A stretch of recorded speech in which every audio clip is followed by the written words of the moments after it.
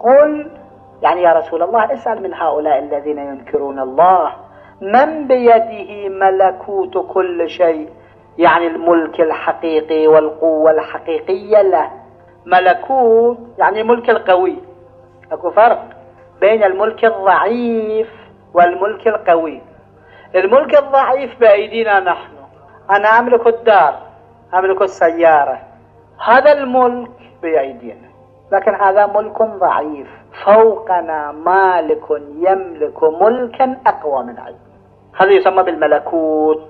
الإنسان الشيء الذي بيده إلى غاية الحدود من الضعف. تملك دنانير هذا لا شك فيه. لكن هذه الدنانير بالليل احترقت. شو تسوي؟ تملك جمال. والعياذ بالله سقطت من مكان ووجهك تشوه. وأجروا العملية ووجه مشوه. تملك جمال.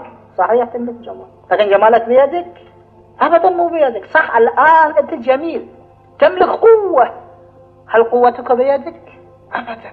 نحن نملك لكن ملكا ضعيفا. وغيرنا يملكنا ملكا قويا. الله هو المالك للنفع للضر للمال للجمال. للصحة للتقدم لكل شيء.